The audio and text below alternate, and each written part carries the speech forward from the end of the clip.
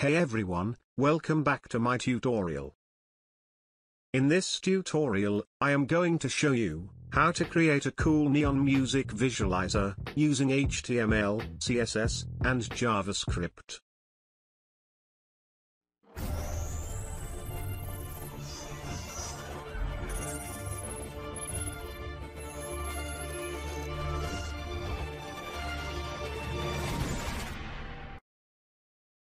Before proceeding further, please be sure to drop a like on this video, and subscribe to my channel, for more such tutorials.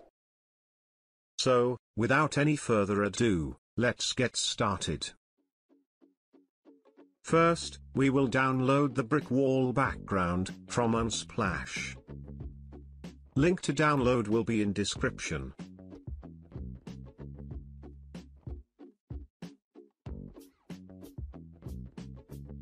Now, open your code editor, and create an HTML file. Use the link tag, to include our CSS file.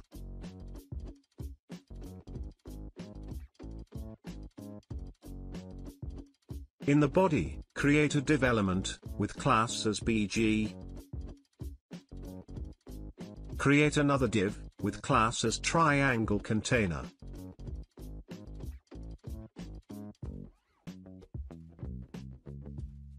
We will use SVG elements, to draw the triangles. Create a SVG element, with class as triangle.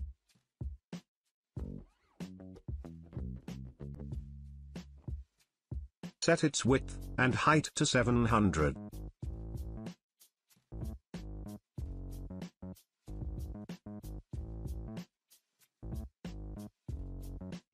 Set the value of viewbox attribute to 0 pixels starting x and y coordinates, and 700 pixels width and height. Inside the SVG element, create a polygon element, where we'll pass a set of three points, to its points attribute. The first set of coordinates will be 350, which is 50% of the width, and 105, which is 15% of the width. Next set of coordinates would be 700 and 700, which are 100% of the width. The last set of coordinates will be 0 and 700, where the latter is 100% of the width. Now, repeat this SVG element, 6 more times, with each time, decreasing the width and height by 100, and adjusting the coordinates accordingly.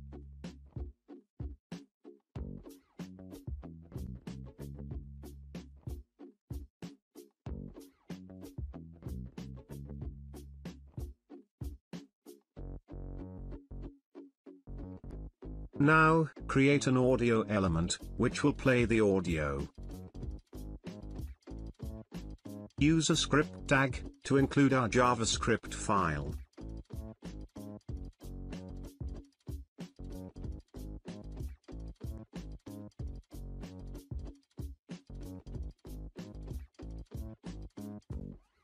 Our HTML is ready. Let's move to the CSS.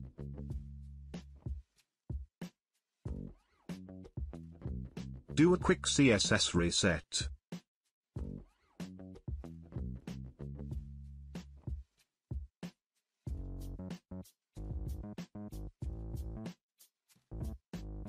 For the BG class, set width to 100 view width. Set height to 100 view height. Set position to absolute. Set top, and left to 0.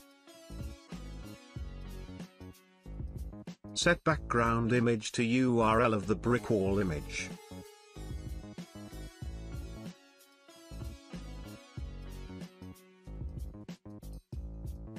Set filter to grayscale with 100% value.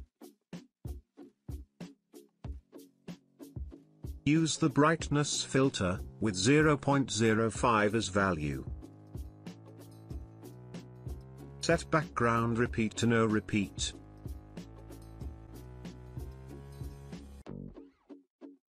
Set Z index to minus 1.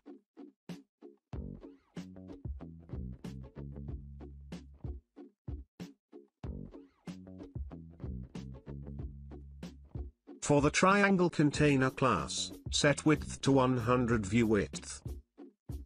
Set height to 100 view height. Set position to relative. Set display to flex. Set justify content to center.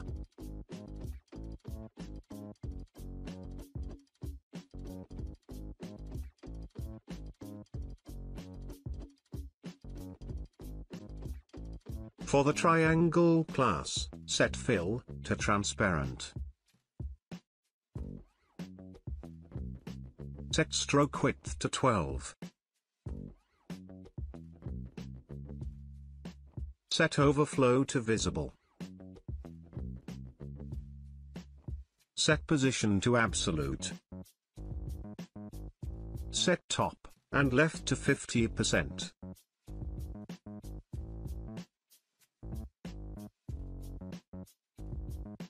Set transform to, translate, minus 50%, minus 50%. Set stroke line join to round.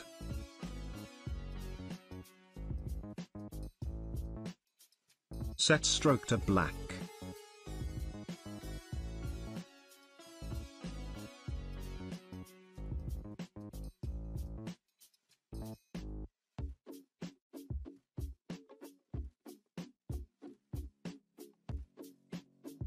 For the elements with both triangle and active classes, set stroke to neon pink color.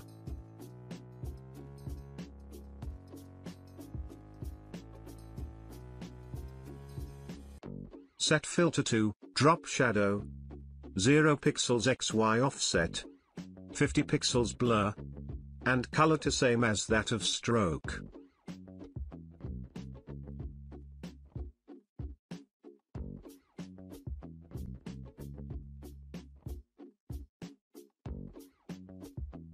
For all the even-numbered elements, with triangle and active classes, set stroke to neon blue color.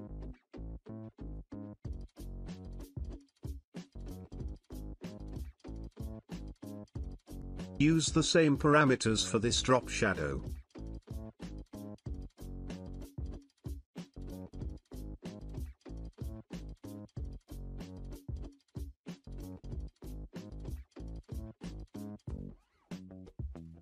Now we will center each of the triangle elements horizontally, and vertically.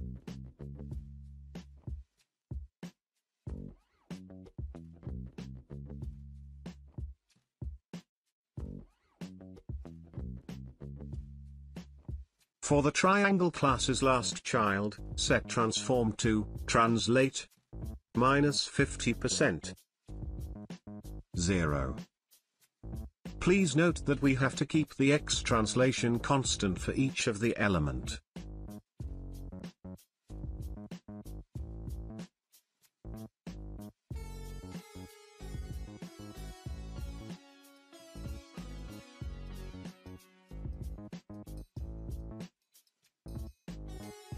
For the second last child, set y translation to minus 34.5%.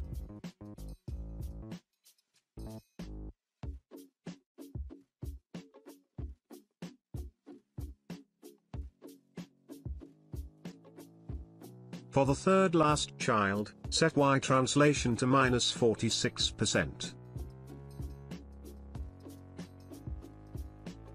For the fourth last child, set y translation to minus 51.5%.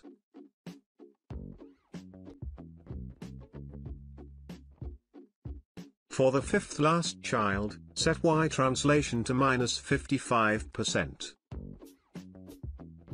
For the sixth last child, set y translation to minus 57.5%.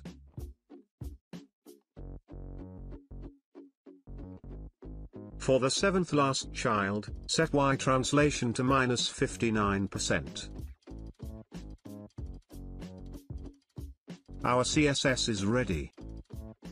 Let's move to JavaScript.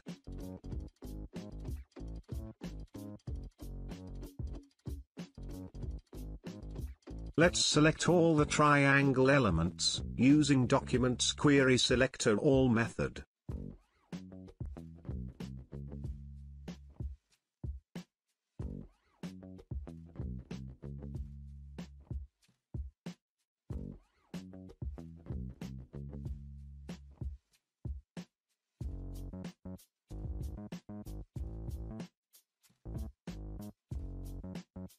Declare a change variable, with default value as true.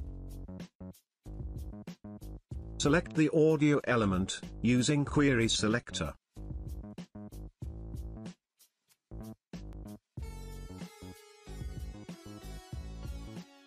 Set the src property to URL of your song.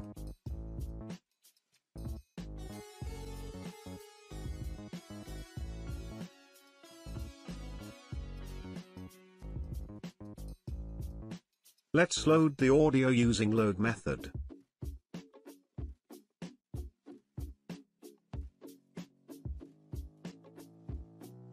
Create a new audio context, which basically represents an audio processing graph.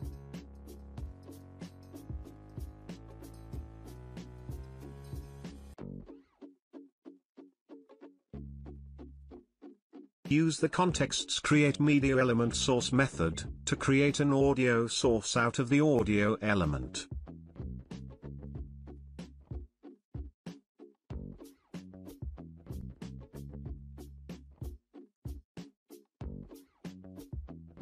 Use the context's create analyzer method to create an audio node that is used to access frequency data of the audio.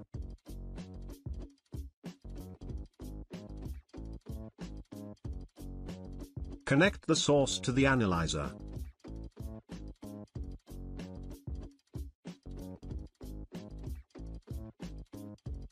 Connect analyzer to context's destination.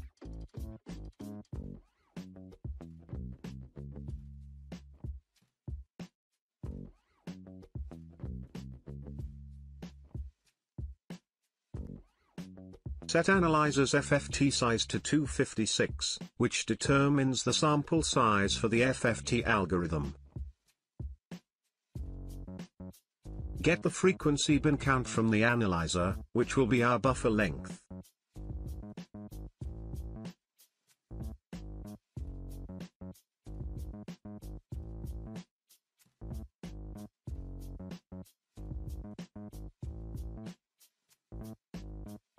Let's create an empty, unsigned 8-bit integer array, whose length will be equal to buffer length.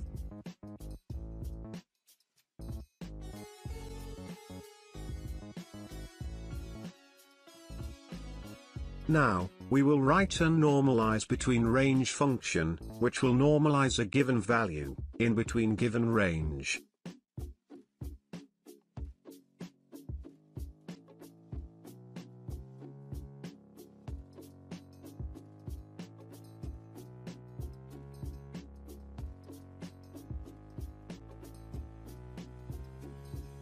Return. Val multiplied by max minus min.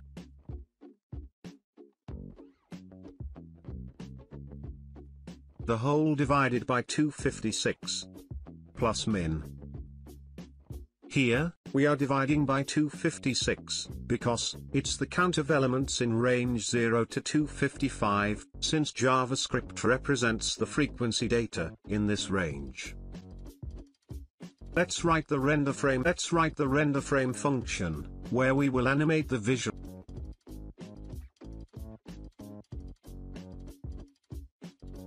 Use the Windows request animation frame method to call the function for next frame of animation. Use set timeout to set the value of change variable to false after 50 milliseconds.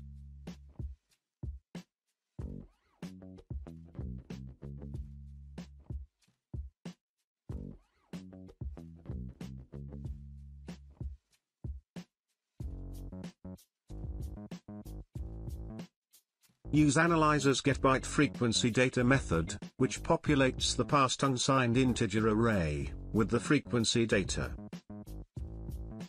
If change variable is true, then and then only we will update the visualizer. This is to avoid any sudden flickers in the animation. Select all the elements with active class.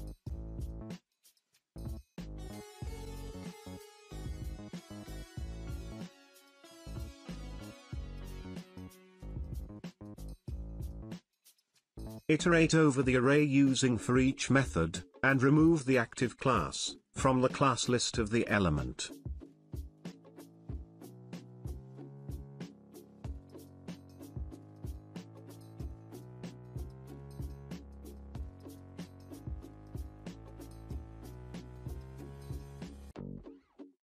Select the element at zeroth index position in data array, since it is the maximum frequency value.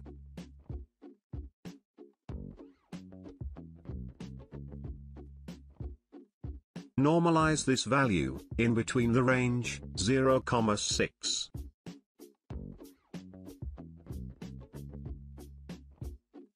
Since there are total of 7 triangle elements, 0 and 6 are minimum and maximum index positions in the triangle elements array. Since we want inner triangles to be illuminated for lower frequencies, we will subtract 1 plus rounded value of index from triangle elements array length.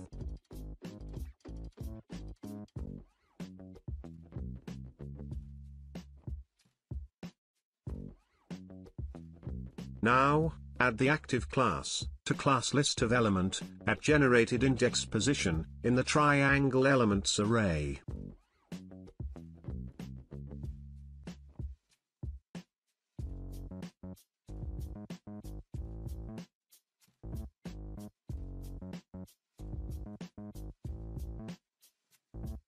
For the else part of the if condition, set value of change variable to true.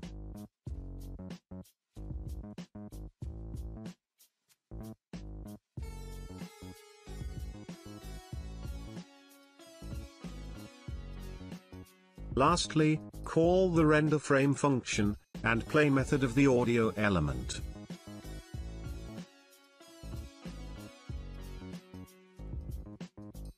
Here, our final project is ready. Let's see the preview.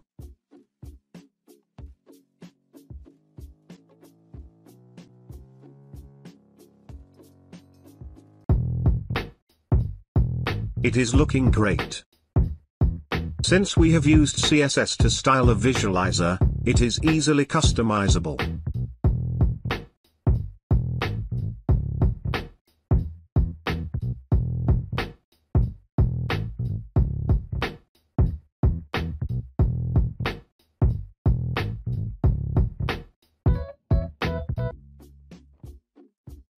So, that's all for today. Hope you would have enjoyed the tutorial. Please be sure to drop a like on this video, and subscribe to my channel, for more such tutorials. I will see you next time, till then, good luck, and peace.